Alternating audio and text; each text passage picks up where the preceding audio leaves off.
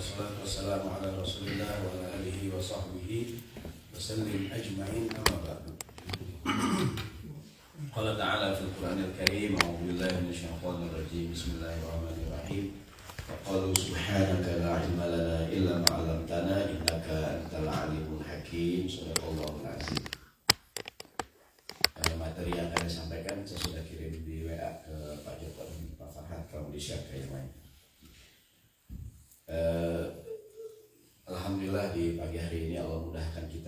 melaksanakan kewajiban sholat subuh berjamaah. Semoga Allah terus berikan nikmat ini. Sholat berjamaah di masjid yang mulia ini. Eh, nama saya Syahroni bukan Syahrini ya bang? Wajah sendiri pegang jalan. Pagi ini saya akan menyampaikan tentang bab asbabul hidayah. Asbab-asbab penyebab orang bisa mendapatkan hidayah. Kan kadang-kadang kita kaget orang yang mungkin tidak hanya dia yang non Islam ya. Dia Islam terlahir jauh dari Islam. Eh tiba-tiba dia berubah ya ada nggak orang dulunya nakal maaf ya preman eh sekarang berubah ada nggak? Banyak. Banyak. Ustaz saya kelihatannya tukang mabuk Pak Ustaz. Ada nggak? Saya tukang tukang minum Pak Ustaz. Eh sekarang begini Pak Ustaz. Sembahyang Pak. Karena kayak ember Pak Akhirnya, karena kayak galon Pak Ustaz. Banyak tuh orang yang mungkin juga di Amerika di Indonesia orang yang tiba-tiba berubah dapat hidayah. Mungkin kalau di tanah air dulu yang orang cukup kaget ketika Mas Deddy Corbuzier tiba-tiba dia masuk Islam gitu. Karena latar belakang dia kemudian tiba-tiba Islam. Pasti ada penyebabnya. Penyebabnya. Dalam bahasa Arab penyebabnya asbabnya asbabul hidayah. Penyebab orang mendapatkan yang ngasih hidayah Allah Subhanahu wa taala. Nah tapi pasti ada penyebabnya tuh nah, doa kita mudah-mudahan saya dan kita semua dan ini masjid menjadi penyebab orang dapat hidayah jadi dengan adanya uh, Masjid At-Tahir dia menjadi asbabul hidayah buat banyak orang. Yang pertama dalam sebuah hadis Rasulullah mengatakan kata Nabi la ayyadiyallahu bika rajulan wahidan khairul laka min humurin. Allah berikan hidayah pada satu orang gara-gara kamu, gara-gara kita itu pahalanya lebih hebat dibandingin dunia dan seisinya. Yang ngasih hidayah siapa? Allah. Cuman kita jadi penyebabnya gitu. Ya kan? kan dia rajin ke atoher dulu saya tuh yang menjadi penyebab itu gitu gara-gara ntar kita akan sebutkan penyebabnya jadi Allah yang ngasih hidayah kita menjadi penyebab ada doa Allahumma hdina wahdi bina waj'alna sababan ihtada ya Allah berikan kami hidayah dan jadikan kami penyebab orang lain mendapatkan hidayah. Eh, karena hidayah itu kan di antara sifat Allah Al-Hadi. Al-Hadi yang Maha memberi hidayah gitu. Kalau kita jangankan kita Nabi Muhammad aja tidak bisa beri hidayah kepada pamannya. Ada riwayat Nabi Ibrahim saja tidak bisa memberi hidayah kepada bapaknya. Nabi Nuh alaihissalam saja tidak bisa berikan hidayah kepada anaknya gitu. Karena hidayah bukan milik manusia gitu. Ada yang ngasih hidayah adalah Allah Subhanahu Tugas kita ngapain? Ngajak orang menjadi penyebab gitu. Maka kita jangan sedih kalau kita udah bikin kegiatan segala macam, kok orang belum dapat hidayah hidayah? Emang hidayah milik Allah Subhanahu gitu. Maka kita diberikan pahala bukan karena hasil usaha kita, tapi karena usaha kita. Baik. Yang pertama penyebab hidayah adalah doa. Jadi hidayah itu diminta. Hidayah itu diminta. Tiap sholat apa yang kita bilang? Ihdinas siratal mustaqim. Ya Allah berikanlah aku petunjuk hidayah. Ustaz kan kita udah dapat hidayah ya enggak kan kita udah ke masjid. Kenapa tiap sembahyang kita bilang ihdina berikan aku hidayah. Maksudnya tetapkan aku dalam hidayah ini. Yang belum dapat biar dapat. Yang udah dapat terus istiqomah. Jadi yang pertama hidayah itu diapain? Diminta. Diminta. Ada doa mungkin bapak udah hafal Allahumma inni as'alukal huda wa tuqa wal afaf wal ghina. Allahumma inni as'alukal huda ya Allah aku minta padamu hidayah. Gitu. ada cerita menarik tentang Islamnya Sayyidina Umar di awal mula dakwah Islam di kota Mekah ada dua orang Umar yang sangat memusuhi Nabi. Satu Umar bin Khattab, satu lagi namanya Amr bin Hisham atau Umar bin Hisham. Nama aslinya siapa? Abu Jahal. Di nama nama di KTP-nya Amr bin Hisham. Tapi nama Facebooknya tuh Abu Jahal. Sosmednya Abu Jahal. Umar ketika awal Islam memusuhi Nabi kan Umar orang yang disegani ya kan? Yang pertama apakah yang Nabi lakukan? Nabi doa. Ada doa yang sangat populer tuh. Kata Nabi Allahumma a'izzal Islam bi ahadil umarain. Ya Allah berikanlah kejayaan buat Islam ini dengan Islamnya Umar. Umar yang mana kita? Kalau nggak Umar bin Khattab atau Umar bin Hisham. Kan Umar itu kayaknya kalau terdengar nama Umar ke sana tuh Nah, saya punya anak nomor dua namanya Umar. Pas lahir kan Bapak saya tanya Roni siapa nama anak lu Umarnya lu nggak takut nakal gitu loh mungkin kesannya kalau Umar ada kalau di Libya ada Umar Mukhtar pejuang depan Umar bin Khattab oh ya kesan kalau nama Umar tuh kayaknya eh, gagah gitu ada Pak Umar sini Bapaknya Umar. Nah, jadi Umar itu di awal Islam sangat musuhin Nabi. Nabi ngapain pertama? Nabi doa. Ya Allah berikanlah untuk agama ini kejayaan dengan Islamnya Umar. Qadarullah, kita Allah berikan hidayah kepada Umar. Umar yang mana? Umar bin Khattab. Dan Umar bin Khattab masuk Islam. Jadi kata para ulama, kenapa Umar dia bisa Islam? Penyebab yang pertama doa. Ingat kan Nabi pernah dakwah di kampung Taif yang Nabi ke Taif, Nabi dilemparin batu kan ya? Nabi ngapain tuh? Nabi doa ke tangan. Kata Nabi, Allahumma hdi qaumi fa innahum la ya'lamun. Ya Allah, berikanlah hidayah kepada penduduk Taif. Mereka memusuhi aku karena mereka nggak tahu gitu. Coba kalau kita, oh, udah ya kan? Ada riwayat mereka datang tuh, wahai Muhammad, kalau kau mau tuh penduduk Taif, aku terbalikin sekalian biar binasa semua. Coba kalau kita, amin dah ya nggak model-model kita ya. Ingat. Tapi Nabi ngapain? Jangan. Nabi malah doain Allahumma di qaumi fa innahum la ya Allah berikanlah mereka hidayah mereka begini antara mereka dalam lain riwayat kata Nabi la'allallah yukhriju min aslabihim man ta'ala. Semoga di belakang mereka dari tulang sulbi mereka lahir generasi baru yang akan beribadah kepada Allah. Terbenar aja tuh. Anak cucu mereka tuh beriman sama Nabi semuanya bahkan ketika Nabi Muhammad meninggal dunia kan banyak orang yang murtad tuh ya. Ya yang nggak bayar zakat yang murtad. Tidak dengan orang Taif.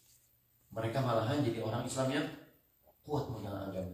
Jadi yang pertama eh, hidayah datang dengan cara diapain doa diminta gitu.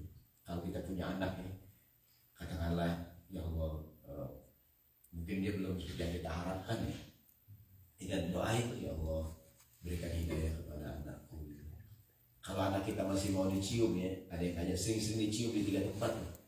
cium di bibir kiri di kanan cium di jidatnya sama cium di bunuh-bunuh saya berdoa Robbi habli minas solihin Robbi habli ya jadikanlah berikan padaku anak yang soleh.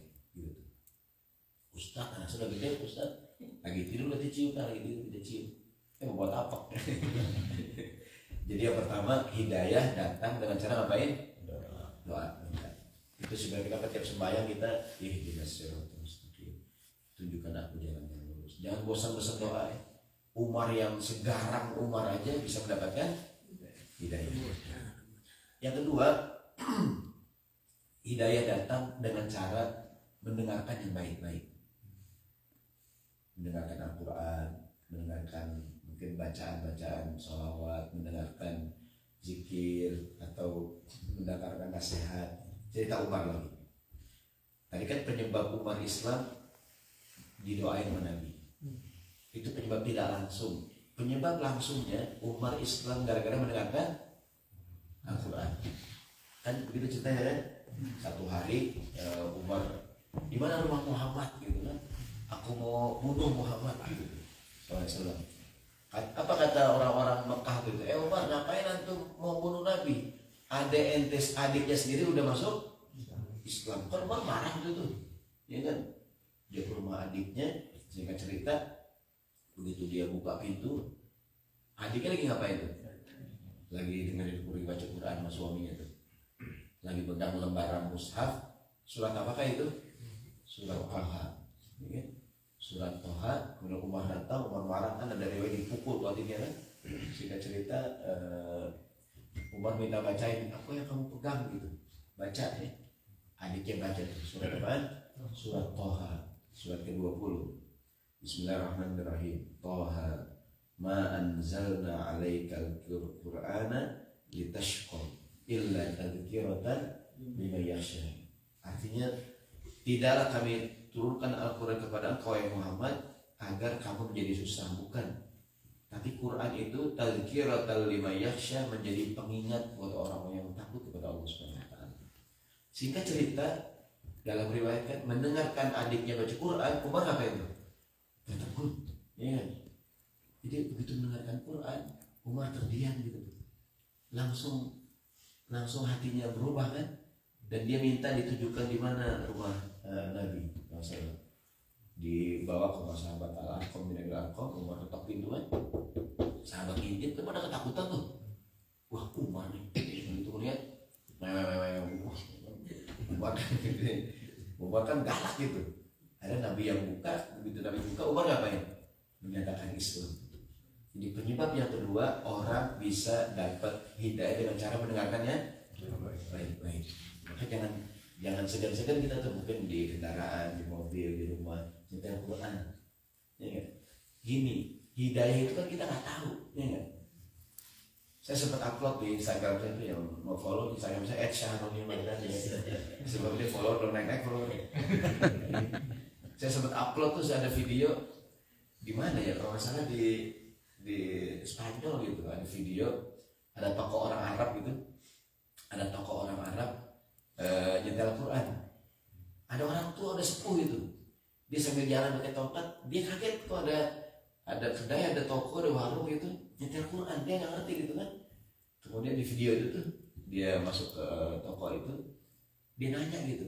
Ya. pakai bahasa Spanyol kan dia bilang ini bahasa Spanyol. As Christ Christ Christ. Gitu. ini bahasa Spanyol yang susah ya. As Christ Christ Christ bahasa bisa jaga kira tuh gak artinya tuh ini apa ini? Gitu kan. Dia bilang ini Al-Quran itu bahasa Spanyol yang susah gitu apa ini apa ini Quran? Dia tertegun tuh. Saya sempat upload di saya cari videonya. Terus dia dibilang ini Al-Quran. Dia dengarkan dia menangis tuh. Kan banyak juga di YouTube tuh kan ada Quran challenge ya. Ya orang Quran on the street ya diminta dengan Quran apa reaksi dia kan?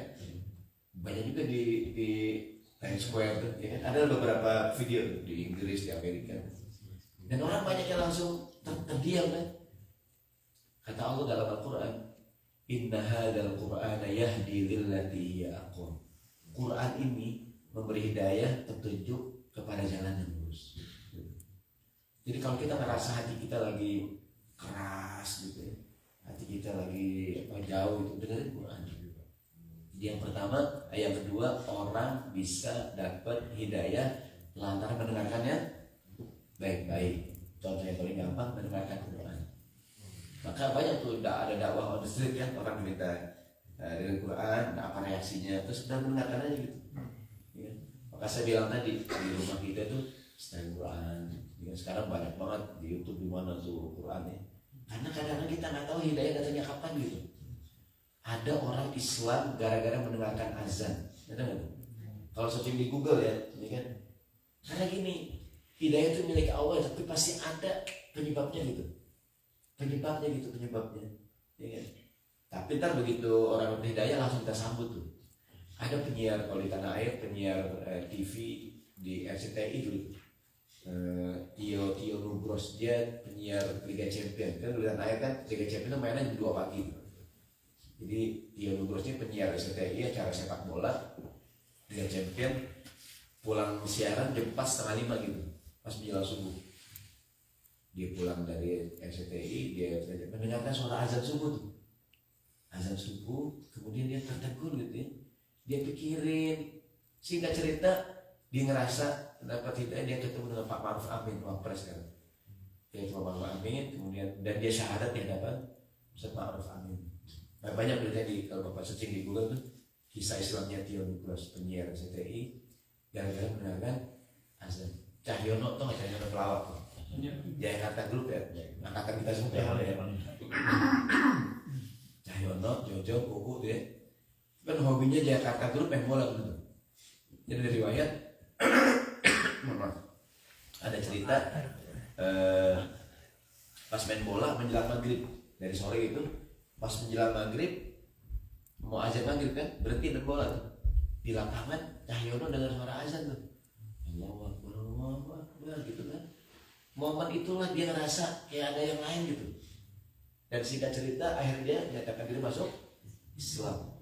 Hidayah dari Allah. Cuma penyebabnya macam-macam gitu. Apa kalau searching di Google banyak? Masuk Islam lantaran mendengarkan suara azan. Eh, di Saudi Arabia. Tuh orang tuh ya, mendengarkan suara azan mendengarkan sholawat Nabi. Ya, ada kisah youtuber asal Korea. Jadi di, di Korea ada youtuber tuh.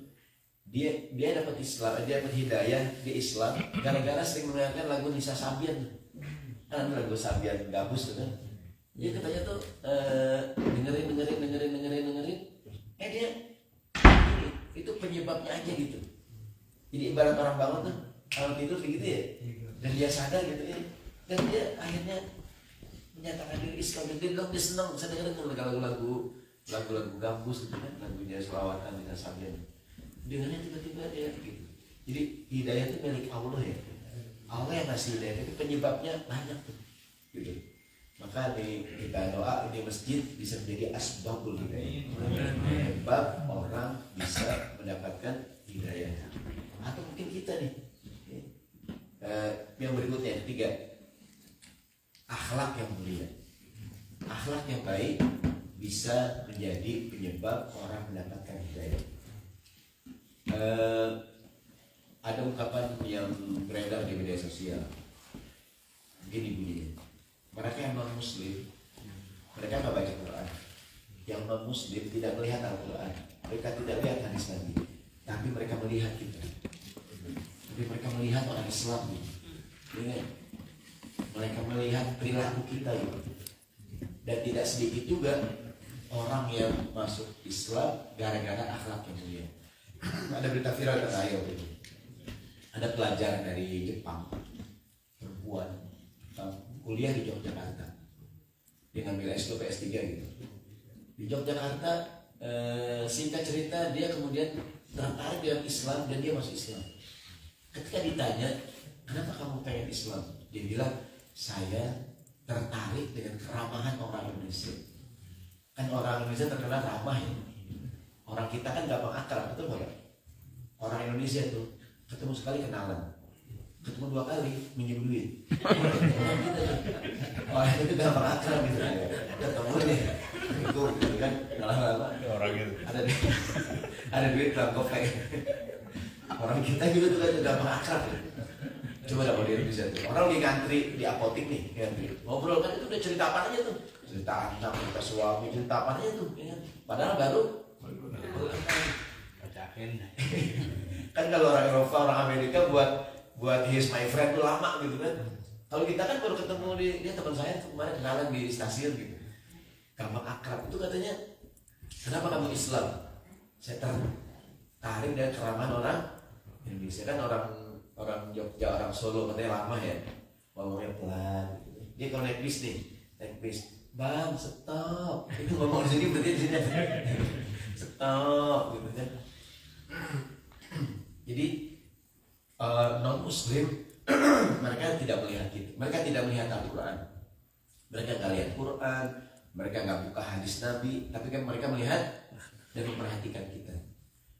Waktu Piala Dunia kemarin di Qatar kan banyak orang tertarik dengan Islam.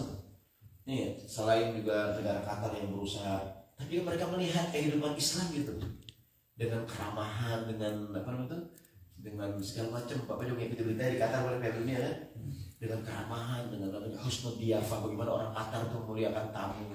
Ada yang ngajak makan ada yang begini ada yang segala macam. Tuh membuka orang. Kan image orang Eropa Amerika mungkin negara Arab Islam tuh teroris gitu kan. Kasar kotor. Begitu mereka datang ke Qatar Piala Dunia kan mereka takjub tuh. Islam itu kaya bersih gitu. Ini tuh? Baik gitu kan. Sebagai hadiah gitu tuh itu Piala Dunia Piala Dunia sekali Qatar itu menjadi asbab hidayah kan banyak banget orang yang kemudian ke Islam kan ya, walaupun kita nggak tahu perkembangan terakhir tapi mereka tertarik dengan Islam gitu. Bukan dengan ceramah bukan dengan tapi dengan uh, akhlak yang mulia kita bisa uh, saya waktu itu uh, pernah di Korea cerita. Jadi banyak orang Korea uh, Islam tertarik dengan Islam gara-gara orang Islam di Korea baik Indonesia orang Pakistan Bangladesh sangat tepat waktu gitu. Kan kita kan sekolah sehari lima waktu tuh. Jadi kamu harus bayang dulu gitu. Main johor main asar main maghrib dan tepat waktu gitu. Dan mereka bilang wah orang Islam disiplin banget gitu. Bahkan mereka kaget ketika Ramadan kita puasa gitu. Kekuatan apa yang membuat kamu nggak makan nggak minum gitu mereka awalnya menyangka kita cuma nggak makan doang gitu. Dan sangat kaget begitu kita bilang itu juga nggak minum. Kamu nggak minum? katanya. Nanti kekuatan apa? gitu kan orang mungkin mau puasa mau dikasih duit ya kan orang mau tuh kamu sanggup nggak nggak makan dari pagi sampai sore saya kasih uang gitu. Nggak ada yang kasih duit. Kita kenapa kita puasa? Ya karena pahala karena Tuhan gitu. Kan orang nggak masuk akal gitu orang materialis kan. Apa yang membuat kamu tuh nggak makan nggak minum? Sebulan lagi dan kadang-kadang musim panas gitu ya kamu tuh kayak orang kurang kerjaan ya. Maksudnya apa gitu yang bikin kamu tuh nggak makan? Gitu gitu. Ya bilang ya iman kan. Ya ya pahala Tuhan gitu. Itu kita geleng-geleng gitu geleng-geleng. Dan singkat cerita untuk Islam. Jadi orang bisa mendapatkan hidayah lantaran di antaranya akhlak yang mulia. Kejujuran eh, tadi tepat waktu eh, dan akhlak yang baik banyak artis Korea kan kemarin eh, beberapa eh, boyband Korea datang ke Indonesia kan diundang ke rumah Raffi Ahmad tuh. Dia punya anak kecil ya. Itu boyband Korea pada kaget begitu anak kecil cium tangan gitu. Pada cium apa gitu kan karena kita punya budaya yang mudaan hormat yang tuaan sama dengan timnas Indonesia yang berapa tahun tuh main dunia kan. Itu pada cium tangan wasit gitu. Itu timnas yang lain bingung ini ngapain Indonesia gitu karena kita kan diajarin namanya mudaan kita sayang sama yang tua kita hormat gitu. Dan di acara kita kan kalau di situ cium tangan ya. Cium tangan ya betul cium. orang sekarang anak saya ini kalau cium tangan ini ada di kuping gitu. Cium tangan ya dicium tangan gitu. Itu banyak orang-orang timnas negara lain tuh waktu main di mana timnas Indonesia tuh? U berapa? U12 artinya masih kecil tuh kan. Main di negara Eropa gitu. Sama wasit cium tangan wasit. Itu orang lain bingung ngapain tuh pak? Pada karena kita yang begitu gitu main tuanya. Kita hormat gitu. Walaupun tuh ada yang mengatakan budaya juga ada yang mengatakan ajaran agama. Maksudnya peristiwa kecil tapi orang kaget gitu. Yang saya bilang tadi itu saya lupa boy band boy, boy band Korea itu ke Raffi Ahmad kan? Itu anaknya pada cium tangan gitu. Kan mereka artis selebritis. Ya kan kenapa pada begitu gitu. Pada cium tangan. Jadi kadang-kadang hal kecil itu bisa menjadi asbab hidayah penyebab hidayah kadang eh, akhlak mulia kita sekali itu kenal kalau orang Indonesia kalau pergi haji dia kan orang itu ternyata kalau pergi haji itu orangnya tuh eh, sabar gampang diatur gitu kan. Orang yang tenang gitu. Di akhlak yang mulia bisa menjadi penyebab hidayah. Jadi orang mungkin ini penyebab nih sebenarnya hidayah sebenarnya hidayah? Allah. Jadi mendengarkan yang baik eh, tadi doa ya doain. Jadi kalau ada orang yang mungkin belum baik jangan dimusuhin ya. Ngapain doain? Ya mudah-mudahan dia mendapatkan hidayah. Sebut nama ya Allah. Mudah-mudahan si fulan fulan fulan dapat hidayah. Anakku ya Allah. Mudah-mudahan dia mendapatkan hidayah. Mungkin ibu ustad suami saya sholat bolong-bolong pak ustad ya kan? Eh, doain bu. Ya doain. Atau yang kedua tuh dengarkan baik-baik. Ibu setel lagu tuh yang apa namanya eh, Walaupun hidup seribu tahun kalau tak sembahyang apa gunanya? Ada nggak? Walaupun kata suami nyindir dua lu, nggak pernah nyetel doang emang kalau suami agak bangun bangun gitu kan. dinyanyiin sama bininya tuh walaupun hidup seribu tahun bila tak sembahyang apa gunanya walaupun hidup seribu tahun bila tak sembahyang apa gunanya? Kadang-kadang tuh syair-syair sederhana ya. Itu orang bisa gini hidayah milik Allah. Dan kita nggak tahu dari mana tiba-tiba gitu. Saya bapak mungkin ibu juga kadang-kadang kita mendengarkan satu lagu ya. Ada nggak menggugah hati kita tuh? Ya. kita cuma dengerin lagu doang ya langsung kita jadi jadi gitu tuh ya. kita kan kadang-kadang jadi pengen dengerin lagu kayak salah dengerin lagu Duhai senangnya pengantin baru. Terang Jangan kali lagi gitu ya. Itu makanya ibu hati-hati ke lagu Jangan sembarangan ke lagu. Itu Iya Itu itu saya bilang tadi coba ada searching di Google banyak tuh. Bapak nyari masuk Islam gara-gara apa gitu? Ah, banyak berita itu. Di Indonesia saya tinggal di Jakarta Selatan. Di daerah Mampang ya. Ada banyak orang bule di daerah Kemang di Kemang di daerah Kemang Jakarta Selatan tuh banyak ekspatriat tinggal tuh banyak orang bule lah di, di Jakarta Selatan. Itu mereka tidak sedikit Islam. Mereka mendengarkan kan banyak rumah-rumah mewah di, di, di kita banyak banget masjid tuh. Saya dengerin azan sering dengerin lama-lama tertarik gitu. Maka yang aja yang suaranya bagus gitu. Iya, jangan maaf, enggak ini buat situ bagus ya. Jangan yang halo gitu, halo apa halo. Kakek kakek udah udah habis gigi. Ayah cola. Kalau yang udah Islam bisa keluar lagi gitu. Kita tuh kalau dengerin azan di Madinah, azan di Mekah itu kan orang gitu ya gitu. Iya jadi mendengarkan azan, dengerin Quran, salawatan, senandung itu menjadi penyebab ya ngasih hidayah nggak ngasih hidayah Allah kita cuma mancing lah mancing gitu ya kan? menjadi menjadi pemicu gitu ya. ntar berikutnya ya dia belajar Islam gitu kan kadang-kadang eh, tadi doa mendengar baik-baik akhlak yang mulia yang berikutnya adalah sedekah hadiah banyak orang Islam gara-gara diberikan hadiah ada riwayat dalam kitab Riyadus Solihin. Eh, kebiasaan Nabi Muhammad orang itu kalau diminta maka nolak Nabi itu. Nabi kalau diminta tidak pernah menolak. Ada salah seorang kepala kampung itu, kepala kampung, kepala suku datang ketemu Nabi.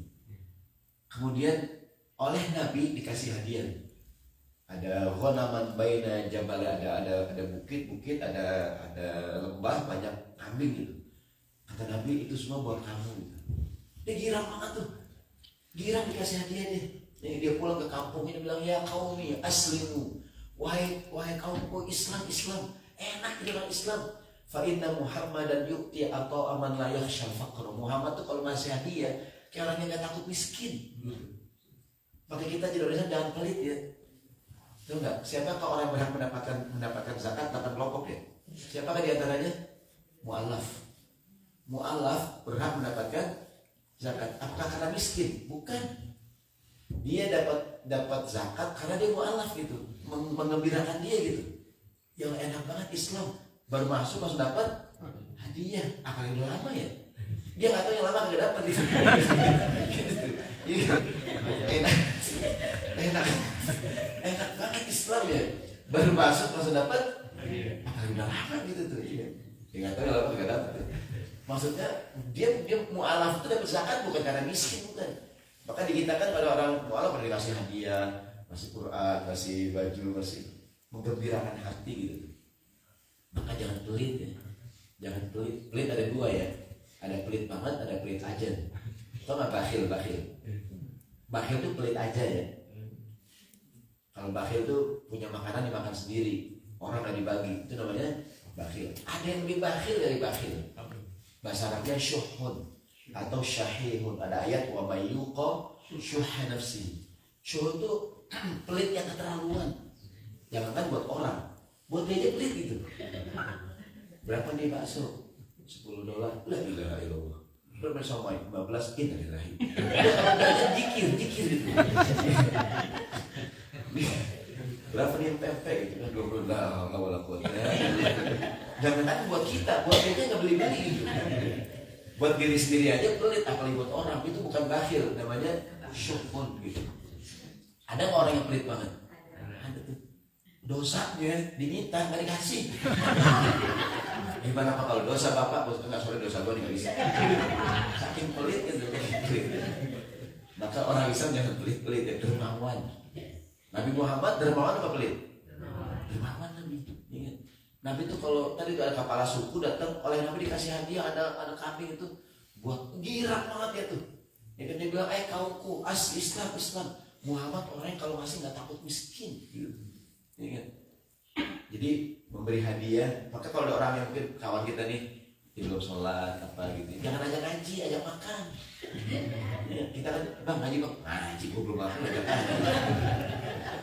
jadi orang tuh kalau belum kalau dia belum baik kita jangan ajak makan bang atau hir ada makan makan bang gitu gua kalau makan oke kalau ngaji gua nggak jadi undangannya undangan makan. Apalagi anak remaja. Anak remaja tuh diajak makan ada makan Bis makan ya ngomong lah 5 menit Yang lainnya ngomong 2 jam gak makan lagi. Ini Udah ngomong kelamaan gak makan kita makan tuh kita gini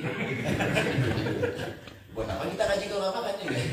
Nih di Indonesia ada budaya gini. Di Indonesia terapanya gak ada maghrib Gak ada isya. Habis ngaji kan makan nampak tuh?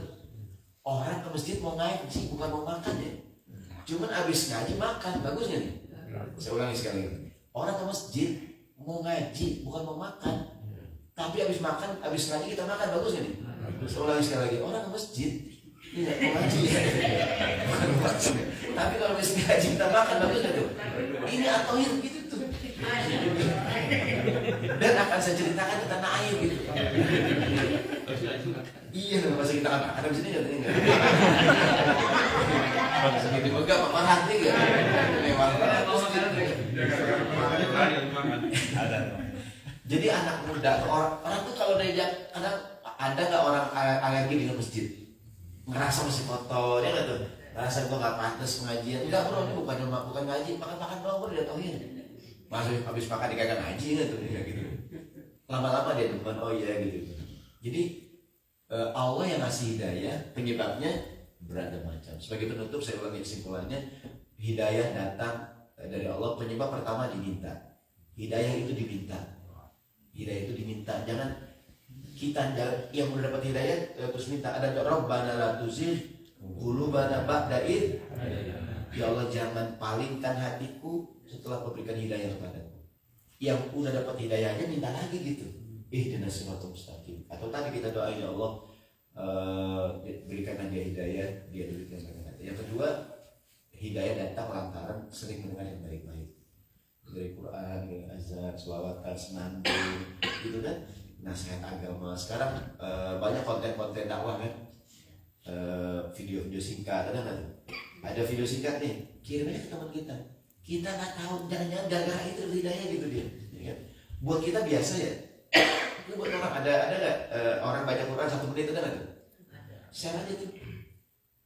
Jangan goyang TikTok yang uh uh uh itu jangan yang perempuan seksi-seksi ya itu bisa di share ya share yang jangan-jangan gara-gara itu dia dapat hidayah itu yang ketiga tadi akhlak yang mulia orang bisa mendapatkan ya saya ulangi non muslim tidak baca Quran nggak lihat Quran dan mereka melihat kita memperhatikan kita gitu. Dan tidak sedikit orang Islam karena melihat dan contohnya kayak bilang mana yang tadi itu eh, Piala Dunia di Qatar itu membuka mata orang itu membuka mata orang Eropa gitu kan. Oh, ternyata dinilai Islam bersih gitu. ya. Semoga sekali lagi atau ya jadi asbab hidayah. Dan yang terakhir tadi memberi hadiah ya. Memberi hadiah bisa menjadi penyebab orang mendapatkan hidayah. Mudah-mudahan yang disampaikan ada manfaatnya. Ada doa ya, tersesat doanya nih. Mungkin bisa doanya bunyinya Bismillahirrahmanirrahim. Ikutin saya. Bismillahirrahmanirrahim. Allahumma hdina wahdi bina waj'alna sababan liman ihtada Allahumma hdina. Wahdi bina. Waj'alna sababan. Liman ihtada Ya Allah berikan kepada kami hidayah. Berikan hidayah lantaran kami. Jadikan kami penyebab orang lain mendapatkan hidayah. Dan saya share doanya bisa dihafalkan. Demikian mungkin kajian di pagi hari ini. Kajian singkat kita semoga bermanfaat. Kita ketemu lagi jam 6 sore sore Demikian kita doa ya Al-Fatihah. Ya. Bismillahirrahmanirrahim. Ya karena ya karena sebaik ya, ini selalu mustaqim selalu terlebih alaihim dan Allahumma salli ala Sayyidina Muhammad wa ala ali Sayyidina Muhammad. Allahumma fa'ala bima alamtana wa alimna ma yanfa'una. Rabbana zidna ilma wa fahma. Allahumma bina liman Allahumma اهدنا واهد bina waj'alna سببا لمن Allahumma اهدنا واهد bina waj'alna سببا لمن ya Allah berikan kepada kami hidayah. Jadikan orang lain mendapatkan hidayah lantaran kami. Jadikan kami penyebab orang lain boleh mendapatkan hidayah. Rabbana atina fid dunya hasanah wa fil akhirati hasanah wa maaf. Assalamualaikum warahmatullahi wabarakatuh.